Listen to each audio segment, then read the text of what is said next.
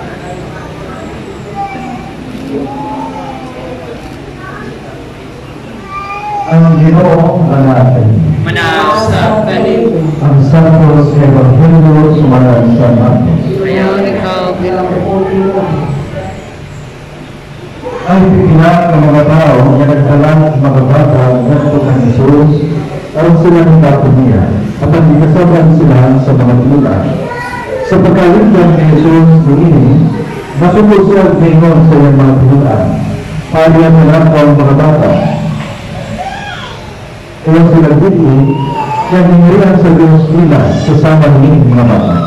Ibang ining Ang hindi unawan sa paghahari sa Diyos para sa sa bata, hindi may sa ini.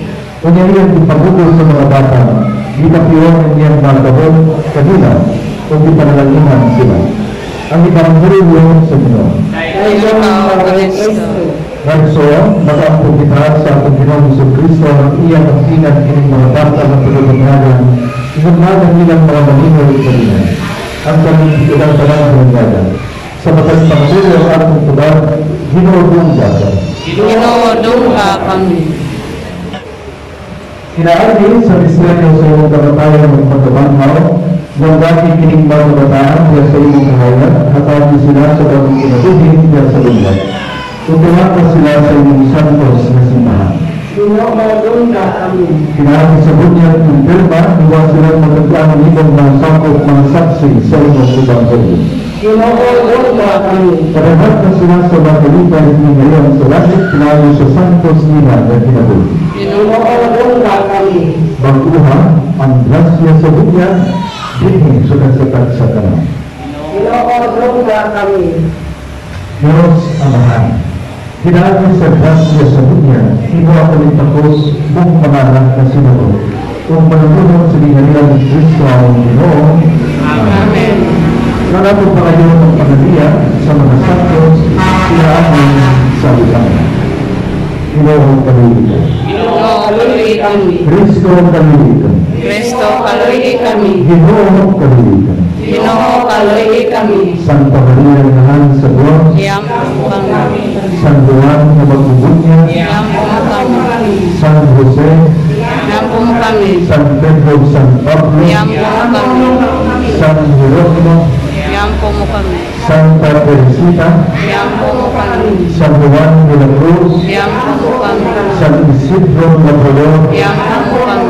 kamong tanang mga santos sa kami.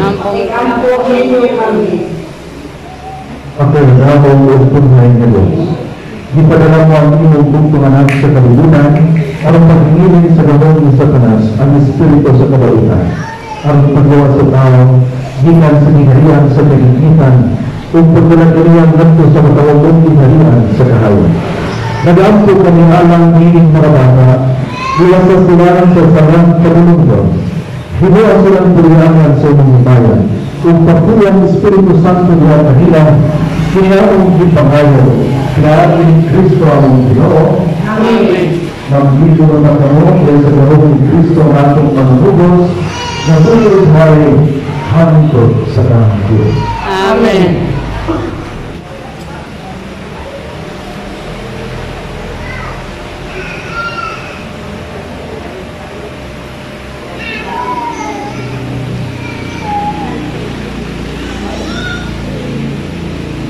Also, pag-ampo kita sa Diyos, ang niya nakagang kining mga batang sa itong kinabuhi ng Marigayaw, kinano sa tubig sa Espiritu Santo. Ang mga Diyos sa dalawang kinano sa tubig sa bunya, yatagal sa yung batang kinabuhi, isip mo panganas. Gikan sa dalawang kinagayan sa tubig sa Espiritu Santo. Gibigo ba mo sa katawan na nag-usa ng si Kristo, imong na. Gitawin mo ang imong mga anak na hinihiling makalinis na tubig Araw bakit sila sa pagtuo sa iyong simbahan, magkapatong siguraduhin walay katapusan.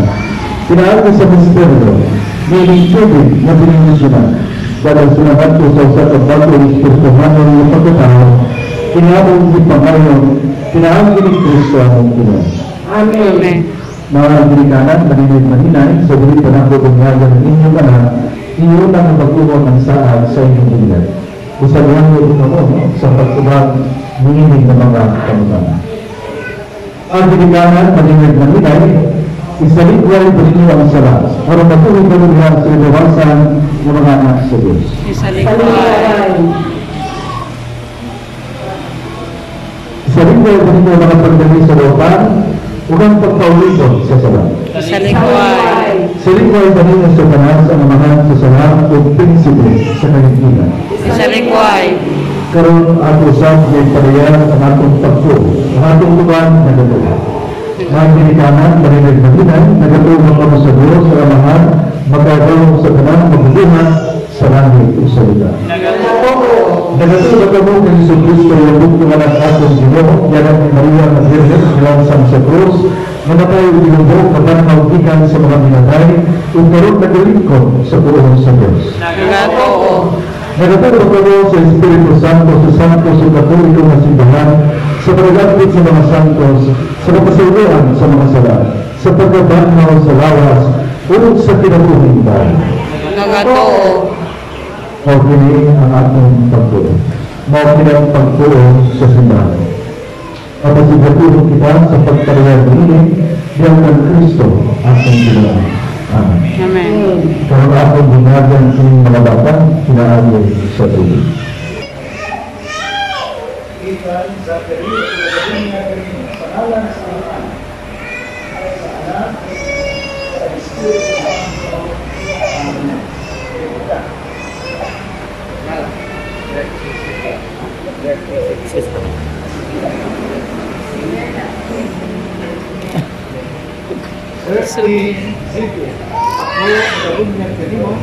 Pangalan sa Amahan, sa Anak, sa Espiritu Santo.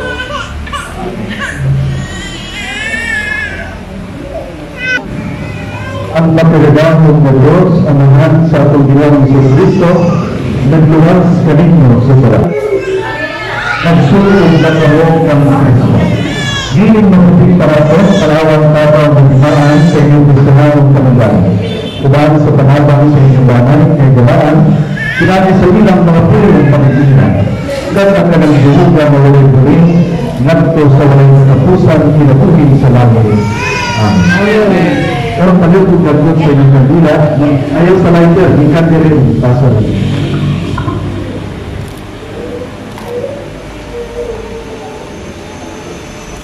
Kanila ni hindilagutan ng sinuho sa ingon sa atong Ginoo nga kamo ang kahayag sa kalibutan. Dusay sa tanag ng inyong kahayag ngadto sa tanan katawhan. Kawat ang kahayag ni Kristo, magdilikanan na rin ng inay ni kahayag ditugyan kaninyo aron baptingan na masilang kanila. Pininyong mga anak ni Kristo, sinabi ng mga lakaw sila kanunay mga sa. Pinabot ng ilang kalumay, ang siga sa pagtuli sa ilang kasingkaso. Sa pagbalik sa Ginoo, musukal na sila kaniya, uban sa pulang mga santo. Ang dinikanan, maninig na hinay, karon matapos na at magbunyag sa inyong lahat. Apan sa lugar ng lamang ini, sa iyang paglakaw, iya sa pinaduhin Kristohanon, isa kinahanglan ngayon mo silang kalulay sa agapon. Kung sa ngalan sa mga bata na binunyagan, kung sa iwas sa akong panagsulong di sa sa tabanan, maglusan kita sa pag-apo sa akong tamahan. Kita ang tamahan. Amahan ako, umahan sa sinulang, kung tayo ko na iyong umahan, umabot ka na ng iyong kaharinan, matungan na iyong pagbuot, hindi sa yuta ngayon sa langit. Ang kalanang naman sa pag adlaw, hatag kanamo taon adlaw, o pasayloa kami sa among mga sala. Ingon nga nagapasaylo kami sa mga nakasala kanamo, o hindi mo kami tugyan sa palulan, ninalualo at sa kami sa kalaulan. Amen. And so, itugyan ko kamo at sa kaluwa ng pahabang sa Diyos ang hangan na magkagawang sa kanan. Siyambot ko na sa Espiritu Santo. Bantayan ang kaniyang iyong ginabuhay kung paglakaw ka kamo sa kahayag sa pagtuo, kung at ikaw magkaguhan, nagisaan sa Diyos ka na. Ang ginoo manaa kanino. Manaa kanino. Manalangin kanino ang Diyos na magkailangan sa tanan, Amahan, Anak, o Espiritu Santo. Amen. Tapos na ang pagbuya, panglakaw sa kalinaw ni Kristo,